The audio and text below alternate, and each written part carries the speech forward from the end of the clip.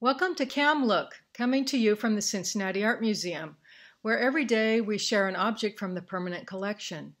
Be sure to return daily at 10 a.m. for something new. I'm Julie, a docent at the Cincinnati Art Museum. Today I'd like to talk to you about art interpretation, about how you can bring your own experiences, thoughts, and questions to art. This is something you can do on your own or with a friend the next time you come to the art museum. I saw this painting for the first time in our new postmodern art installation in Gallery 105. It grabbed me because it's contrasty and large. The woman is close to life size, but it keeps me because of what's happening in our lives right now. My first reaction was a smile. This summer, my friend and I have been donning our masks and bobbing around six feet apart in her swimming pool. So it conjures happy memories in that way. Yet I find it oddly disquieting because of its contradictions.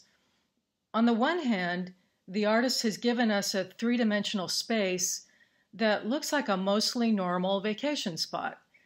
The woman looks nonchalant or maybe challenging, alluring, and not all at the same time. It has a comical look overall, but it doesn't seem humorous, and the color is a little bit off. Even though I doubt it was the artist's specific intent, my thoughts go to the uncertainty of life during a pandemic. People wearing various types of masks are spaced apart, not interacting, and talking numbers? Or is it an aqua aerobics class on Halloween? Would you jump in? I counted 14 numbers and 14 figures. Maybe they're calling out their identities by number for some reason? The painting was made by contemporary American artist Jane Hammond in 1992.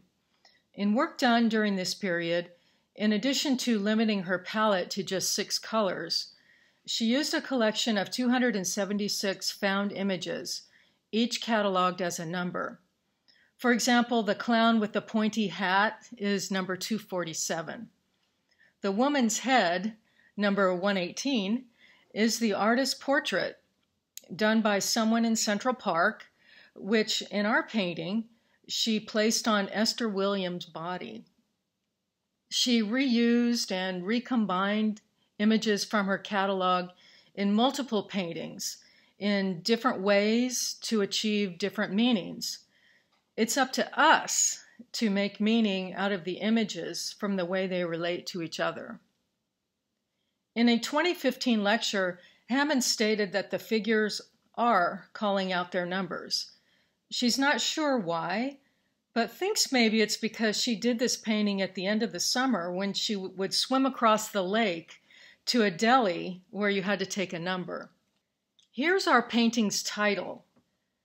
Hammond titled her paintings Untitled, with, in parentheses, a list of the numbers corresponding to the images she used. What's your interpretation? And what would you title this painting?